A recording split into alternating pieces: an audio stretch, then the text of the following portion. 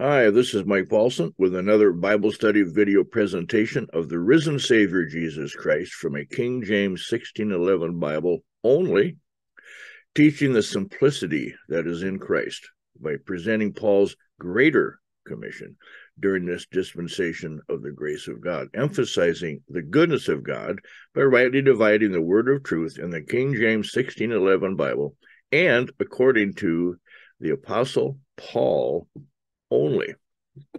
Now, for those of you that are uh, new, I would ask that you would uh, pause and read the scriptures that support what I just introduced myself as doing. But for the sake of time, we're just going to keep moving right along. So unpause it when you're done reading them. And I hope that you're not just a lazy enough Christian that you wouldn't check these things out. It's so important to read the scriptures and not just listen to people. Behold, therefore, the goodness and severity of God on them which fell severity, that's the Jews, but towards thee, the Gentile nation, singular, goodness, if thou continue in his goodness, otherwise thou also shalt be cut off. And he's talking about the Gentile nation being cut off, not individual Christians losing their salvation.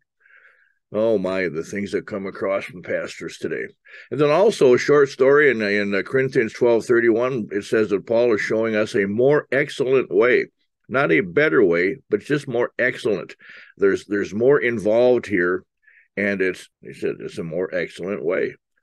And then the, the real good story is in Acts uh, 18, verse 25 and 26 uh, story of Apollos, and here's this Apollos guy. He began to speak boldly in the synagogue, whom when Aquila and Priscilla, or Aquila, who knows, and Priscilla had heard, they took him unto them and expounded unto him the way of God more perfectly.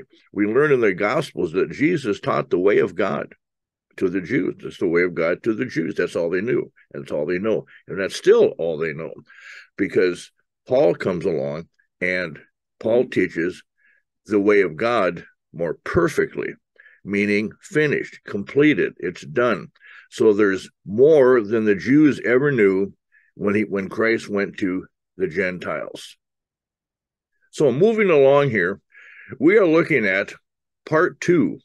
Is there such a creature as a carnal Christian? And I, am doing this because uh, either the people that read this thing or followed along here the other day when I first put out put out part one, that was in studious detail, and I could tell by the the few people that wrote to me and said I'm nuts. I could tell they never listened to it. They never studied through it. They caught the gist of it. One of their one of their institute buddies or somebody out there told him, "Well, that's just hyper stuff. That's just wrong." He's looking to Paul. He's wrong. Done. Over. Complete. And that's what happens people get these preconceived notions. They don't know me by now, but I have a feeling a lot of people don't read in detail or listen in detail to what I'm showing here. If you did, you would see that it isn't me, it's the scriptures that are being proven rightly divided. So, anyway, part two is just a short attempt that maybe I can just summarize this whole thing and people can get it. Okay. So, is there such a creature as a carnal Christian? Part two. Or, like I like I always say, it's just another example of profane and vain babblings from today's evil, seducing, deceived, and deceiving pastors who, with their good words and fair speeches about another Jesus, have truly robbed this world of the inspired and preserved words of God that teach the goodness of God, as well as a true salvation with this risen, living, and holy Lord Jesus Christ. Now, what I did show in part one was that uh, carnal, you're lost, you're dead in sin. That's just what carnal is. And Christian is one who is saved, quickened, made alive, not born again. I won't get into that in this one, but that is not what makes a Christian today. Now, my point was when a Christian does carnal things, we have to learn from Paul and in Romans and in Colossians, it isn't him doing them. So if the it's the sin that dwelleth within. I'll show you here in a second. So when a Christian does carnal things, it isn't him doing those carnal things. So there can be no such thing as a labeled carnal Christian. You really just have a Christian doing carnal things. So if you've got a Christian doing carnal things, doesn't that make him a carnal Christian? No. And I'll show you why. I'll show you why the pastors make such a big deal about it. You have a Christian doing carnal things. This is the battle we should be fighting, and it's within ourselves. Now then, it is no more I that do it, but sin that dwelleth in me. That's Paul talking in Romans chapter 7. Absolutely fantastic chapter 15 to 25. Just a couple verses here. It is no more I that do it, but sin that dwelleth in me. Okay, so if you're doing car- if you're doing carnal things, it isn't you doing those carnal things. It's that sin that dwelleth in me, because we're cut away from that. Colossians chapter 2. Oh, I could, Hebrews chapter 4 tells us what the word of God does. It's the sword of the spirit, Ephesians chapter 6. And so uh, you've got you've got to grab it and understand Romans chapter 6, 7, 8. Read that every night before you go to bed, or read it when you get up in the morning, or read it when whenever you want. Just read six, seven, and eight. That is an absolute bottom line doctrine that gets you through everything that Paul's teaching to us. That's fantastic stuff. Now, Paul knew, O wretched man that I am, who shall deliver me from the body of this death? So Paul fought the battle. Was Paul a carnal Christian? No, but Paul did carnal things. But it wasn't Paul doing those things, it was a sin that dwelleth in him. I thank God through Jesus Christ our Lord. So then, with a mind, I myself serve the law of God. We know what we should do, but with the flesh, the law of sin. And by the way, where he says, "My mind, I myself serve the law of God," it isn't the law as taught in Leviticus and, and Numbers and Deuteronomy and, and the Gospels. Okay, don't don't let that trick don't let that trick you.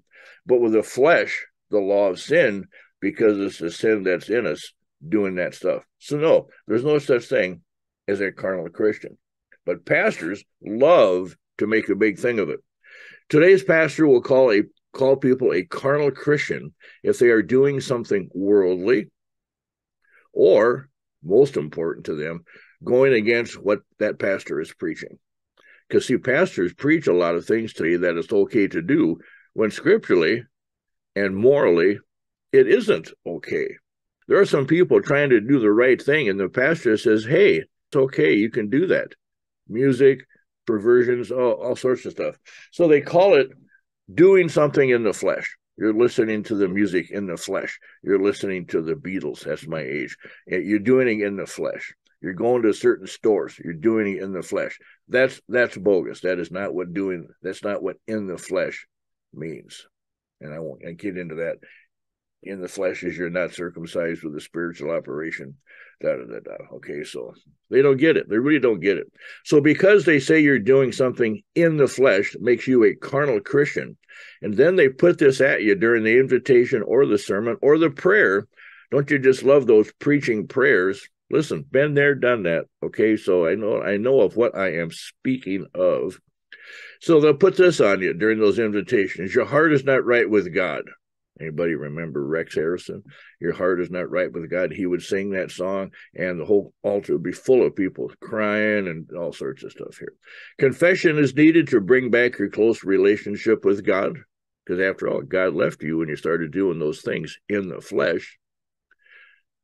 Which, by the way, is why born again is so wrong, because born again just basically means you get to start over. But now you have Jesus that'll give you the power to do the right thing and the unction and the anointing. And so when you do, you blow it. Then you got to go back and got to get your heart right with God. You got to make some confessions because God has left you. Well, does God mean, does that mean you lost your salvation? Because if it does, then you need to get born again again. And if you're one of those that says you need to get baptized after you've been born again, then I suppose after you've been born again again, you need to get baptized again and again. And it seems like they should put a baptism uh, tank right there by the invitation so people can jump in and get out again every Sunday morning or Sunday night for the serious people. Then the pastors will say, well, you might not even be saved. And then they will say, number four here, your own faith is not real, nor is it enough. Oh, you're getting scared now, see? Severity of God's threat there. And now the newest craze is to worship God so he will forgive you and fill your life with blessings as signs and wonders and miracles to prove that your pastor and church is correct. Amazing stuff. So Carnal Christian, no such thing, but the pastors know how to use it incorrectly. So if you remember this page from part one, I just said we're just going to concentrate on this one slide and then we'll be done with it. All the well-known authors, pastors of huge congregations in Texas and uh, Missouri, I mean, all these all these big guys and their books uh, and their deceived followers, they would they disagree with me as they teach their good words and fair speeches. So somebody's telling you what's wrong with me and my teachings here, and what's wrong with Paul and the King James Bible. They got a they got a passel of good words and fair speeches to explain to people. And people are so deceived. Oh, Pastor, you got it. You know, actually, no, they don't got it. And in truth, they're speaking profane and vain babblings. And I'll show you some statements below. My question through all these all these statements under here are who decides if those changed lives have changed properly? Or have they changed enough? Who makes that call? The pastor, the parent, the Sunday school teacher, the youth pastor? And according to what teaching? Against according to what law? According to what doctrine? Gospel law? Peter, James, Jude? How about Peter, James, and John in their sailboat? You know, remember that song? Beatitudes, that seems to be the standard to get people to try to follow the Beatitudes. But if you look at my sermon on the Beatitudes, there are at least five things in the Beatitudes that are impossible for us to do today, not possible. Ten Commandments, but they were only given to the Jews. Why pull them up today? Or Paul's manner of life as our ensample to the Gentiles. That's what we're to follow. However, I have noticed more and more some of these quickened Paul following Christians tend to turn Paul's teachings into the law. So if you don't do some of those things, you're still a carnal Christian. They, they don't understand. They just like Paul's doctrine and they like the good stuff. They like the goodness of God, but they have not sat down and studied Romans. Here we go 6, 7, 8, Colossians chapter 2, 11 to the end of the chapter, Ephesians chapter 1, uh, 12 and 13. Oh, there's so many wonderful things in that King James Bible. So here's here are some of the statements I've heard, you'll you've heard. I read them the other day in a in a thing written by a, a pastor, but what's wrong with easy believism and and uh, lordship stuff? It's just crazy. True faith in Christ will always lead to a changed life. Okay, if not, then you must not have a true faith. Okay, well, first of all, True faith in Christ will always lead to a changed life. Who makes that decision whether you should change something or not, and if you change it good enough? Simple question. That should open the eyes of some people. And then you must not have a true faith. And the faith that's being talked about in the churches today is growing their own faith. They have no, they have no idea what it says in Galatians that uh, uh, we live by the faith of Jesus Christ. We live by His faith. We don't live by our faith. Our faith comes and goes. Okay, simple stuff here. Number two, we are saved by the power of God for the purpose of God. That purpose includes the works that give evidence of our conversion. True. I, I, won't argue with that. Paul even says in Acts 26, doing works meet for repentance. If we truly are saved, got to throw that in there, just it makes the pastors happy.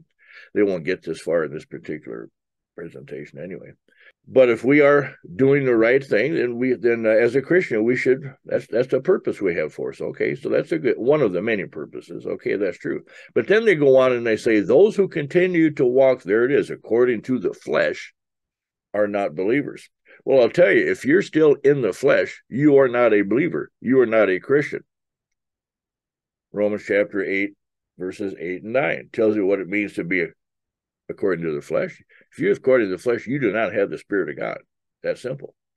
So, according to the flesh is not a walk criticism. Okay, anyway. Uh, with true salvation, number three, with true salvation comes genuine repentance and real life change. Okay, same question. Says who? And how do they learn of those needful changes in their lives? By that anointing, the unction, obedience to the pastor, I mean, seriously, if somebody has to has to you know, make a repentance and make a change. And if they don't read scriptures, which pastors don't teach them, how do they know what changes need to be made? And I can think of a few people right here locally that they have no idea that what they're doing is wrong based on the scriptures because they never read the scriptures. Apparently, God hasn't told them yet. They use the word uh, convicted, but the scriptures use the word convince. Christ has to convince us things because we read our Bible, we get convinced. Okay, let's move along here. Number what we do here, three and four here. We are to die to ourselves as we change into the likeness of Christ. Boy, show me the scriptures on that thing. Because their Bibles, all these modern Bibles say that these people need to imitate God. It does. Imitate Christ, imitate Jesus, imit- even says imitate your even imitate Paul, but they don't talk about that one. Uh, and you're supposed to even imitate the faith of your pastor. Seriously, yes. And I, I just always like to ask people, say, so you're you're uh, you're a certain church thing. So how are you doing it, imitating Christ?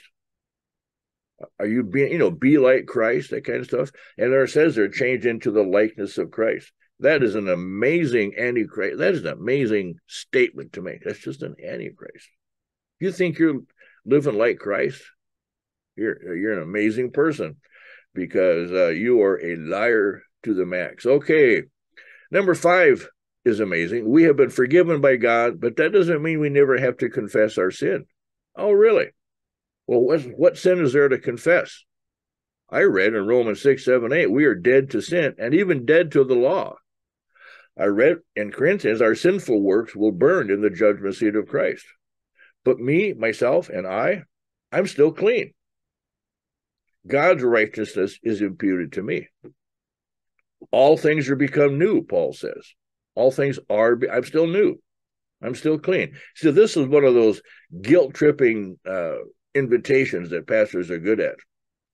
You've been forgiven of God, so you need to still make sure that all your sins are confessed. And I remember a long time ago thinking, well, if I'm completely forgiven and Jesus paid it all, like my bumper sticker says, I bought from Florida there, what do I, what do I have to confess and why? Well, then they throw this at you, number seven. We are positionally righteous, but practically sinful. Boy, now there is a guilt statement right there to put on people. You're positionally righteous. You are a Christian, but you know you've done some sinful things this week, you carnal Christian, you. You better get it right with God. Just more profane and vain babbling of good words and fair speeches from these guys. Cute though. Positionally righteous, but practically sinful. They say, God forbid that you would continue sinning in Romans chapter 6, okay, verses 1 and 2. No, the King James Bible says we are dead to sin, noun. That's sinning. The pressure is to stop sinning from the Gospels. And Paul's teaching is we're dead to sin. Christ took care of sin. And if we do something wrong carnally, it's not us doing it, it's the sin that's still in us because he cut us away. Absolutely fantastic stuff to get a hold of. And I'm telling you right now, the churches out there, including, I'll give you the alphabet, like I'll give you the letters because I don't want to say their name. P B I, they have no clue. They're picking and choosing, rightly dividing. And so they're still teaching profane and vain babblings. Okay, verse 8, we did, or question 8, we did that one here. And 9, we must crucify our flesh or our salvation is false. false. Or if we don't crucify our flesh, the relationship with God is over. Yes, we are to try to crucify our flesh. That's that's the battle we have. We read that in the opening slide. But nothing is at stake when we fail. We're not to grieve the Spirit of God. We're not to quench the Spirit of God, but we do. But there's no punishment for it. It's just as they will burn in the judgment seat of Christ. We build with good works, while our bad works will burn. And that's Paul's biggest message. He is the he is our wise master builder. If you out there in your daily walk, following his manner of life, trying to anyway, as his him being our ensample, then if we do some good things, we'll build up. But when we mess up, well, he burns it away. And the gospel crowd, the church crowd, you better not do anything wrong or your building will come tumbling down. It's amazing. Today, we have no instant judgment or severity of God at this time. It's amazing. Romans 7 15 to 25. Note that God keeps us from evil, by the way, by us reading our rightly divided King James Bible, uh, not going by our feelings or any supposed anointing or unctionating, because that's that's not true. God keeps us from evil. He will let you drive your car off the cliff. He will let you get a job you shouldn't have gotten. He will let you get married when you shouldn't. He'll even let you go out there and, and uh, do things you ought not be doing. That means you got to get married later. He'll let you.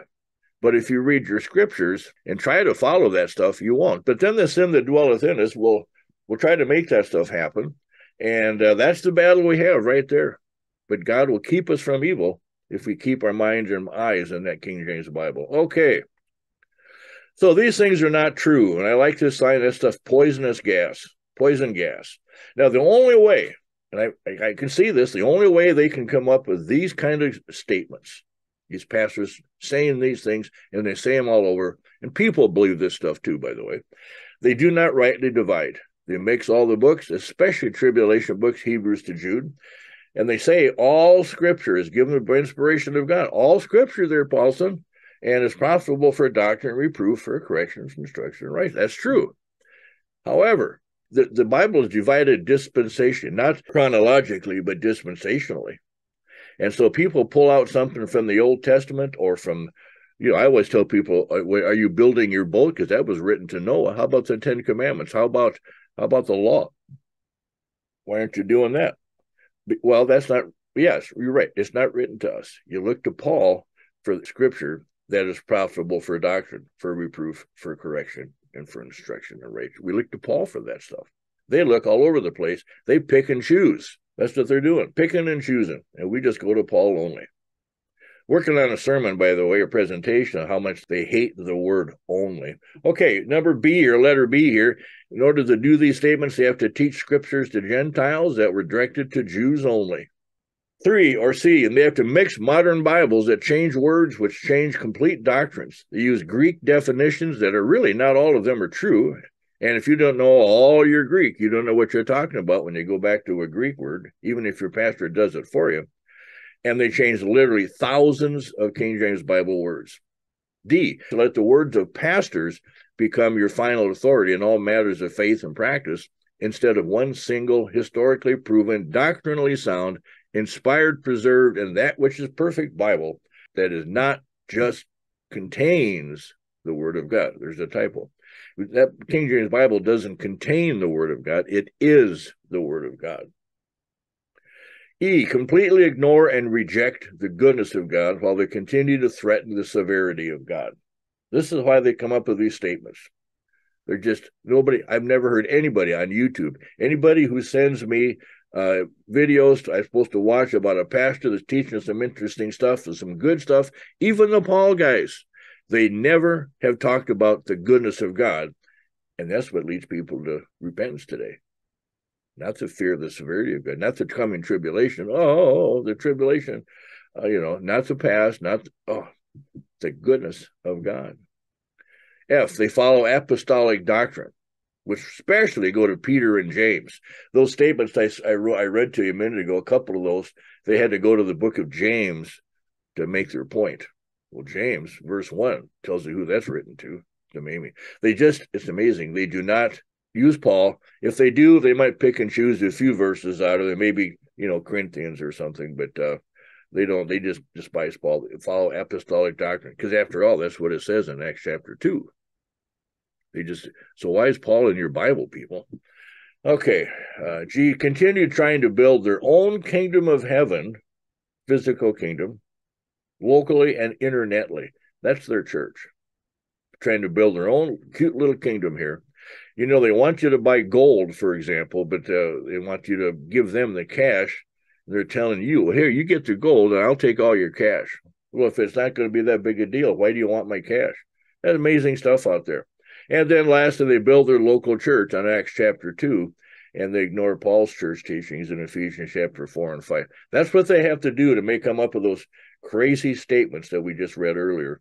And they throw carnal, Christian at you. And we've learned, hopefully, that you no such thing as a carnal Christian. Christian doing carnal things, but we've got the judgment seat of Christ to take care of it. Uh, we've got the operation made without hands to take care of it. Amazing. We are dead to sin. We are dead to the law, and all things are become new.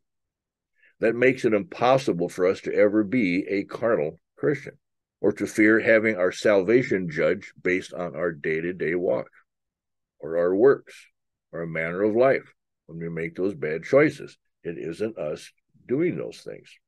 It's a Christian doing carnal things, but that does not make us a carnal Christian. I hope you can get that. The judgment seat of Christ will sort out our, our good and bad works. We ourselves are already saved, cleansed, made alive. We are even kept clean. We can't even get dirty. And as I said, it's a rough battle, though, Romans chapter 7, 15 to 25. Read that a few times, but that's part of reading Romans 6 through 8. So uh, you have a great time reading. It is all made possible because of the risen Christ and the sword of the Spirit, which is the Word of God that does the spiritual operation. And that's the King James Bible. I keep trying to get somebody somewhere to realize this simple and most wonderful fact. This is all taught only by Paul from his books, Romans to Philemon, and is found only in the King James 1611 Bible, written for and given to the Gentiles during this dispensation of the grace of God. And people have a hard time with 1611, but 1 Corinthians 13, 8 to 10 has to be what I say it is. It has to be the Bible. It can't be anything else. And I got sermons on that, but let's not get into that. People today and you know who they are, don't seem to care about the coming severity of God. Can't even talk to him about it. They just poo poo it. Well, they haven't seen it in their lives, so they don't believe the severity of God. They don't believe in, they don't even believe the goodness of God is real because they've never heard about it. Their pastors don't ever talk about it. Even Paul pastors don't talk about it. They don't realize truth is becoming a lie, Isaiah, that good is becoming evil, and light is becoming darkness. They are just caught up in it like everybody else out there. They no longer even care about their modern Bible, any Bible. They just want to hear those spoken words from their favorite religious leader or author or pastor who scratch their itching ears while they practice their satanic rock and roll in church, if they go to church, as they are being deceivingly prepared to worship Satan as the Most High, all being eternally damned with him. So my final question, after if you if you get a if you get a grip on this stuff in Romans six, seven, eight, and on uh, you know carnal Christian, there's no such a thing but Christian doing carnal things, and you see you see all these things, you're dead to sin, dead to the law, and what Christ did to us and for us, it's just beyond understanding. Beyond I shouldn't say beyond understanding, because the more you read, the more you learn, the more you understand. It's just amazing that he so why did he do that? Is because he just loves us like everybody likes to say? No look at romans 10 11 and 19 through their fall uh, jews salvation has come unto the gentiles. Why? To provoke them to jealousy. Them as the gentiles? No. The jews. The jews he's doing this to this is crazy he's doing this to us and with us to show his people what they could have had and you you can't give us any more than than God has given to us through the risen Savior and through Paul, and tells us about it in the King James Bible. 19. But I say, did not Israel know? First Moses saith, I will provoke you to jealousy by them, that's us, that are no people, and by a foolish nation, that's us, Gentile nation, not America, a, a Gentile nation, I will anger you. Isn't that amazing? Moses even said that. Why would anyone want what the churches are teaching today while rejecting Paul's ministry of the goodness of God to the Gentiles? Well, I know why the pastors aren't teaching them. If you give me an hour in a pulpit in the same church and they all follow the same Bible, I can show them what what's going on. But I, I just, if a person's really questioned, why would you want what your pastor's teaching? Why would you want the severity of God and not what Paul is teaching from the risen Savior? People say they're Christians. I say, well, why aren't, why aren't you following the teachings of the risen Savior? You believe that he died and rose again? Sure do. Well, why aren't you following what he wrote after he, or what he spoke after he died and rose again? Well, pastor knows what he's doing. Your pastor doesn't know anything. So why would anybody want what the churches are teaching today? Well, like Moses said, he knew they would respond with anger. I will provoke you to jealousy by them that are no people, and by a foolish nation I will anger you. And people today, they are responding just like Moses said they would with anger because they're being taught Jewish teachings and they're all getting angry over this stuff. So now, if you are new, I would suggest I would ask you to pause this particular page. And if you're not new, then uh, and you've been through this page before, well, then I guess you can turn it off because we're done. But uh, again, if you're if you're new to this whole presentation thing of mine, uh, put this all stuff in front of you here, and uh, pause and read it. This will inform you of what's going on at my presentations. There you go. The end. Hopefully, the beginning for some folks somewhere.